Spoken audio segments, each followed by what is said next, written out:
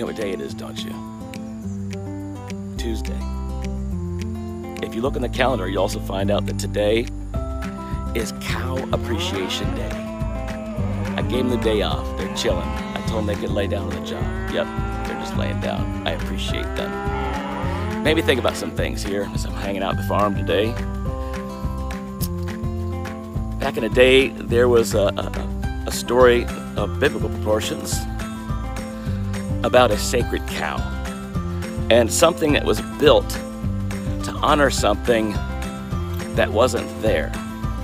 It was something that was created by people's ambitions, their desires, and their wants, instead of trusting and waiting for the real thing. My question to you today on Cow Appreciation Day do you have any sacred cows? Is there something in your life that is being exalted above other things that they shouldn't be? Or that it isn't? Just a question. What's really moving you? I mean, after all, today, it's Cow Appreciation Day. Moo.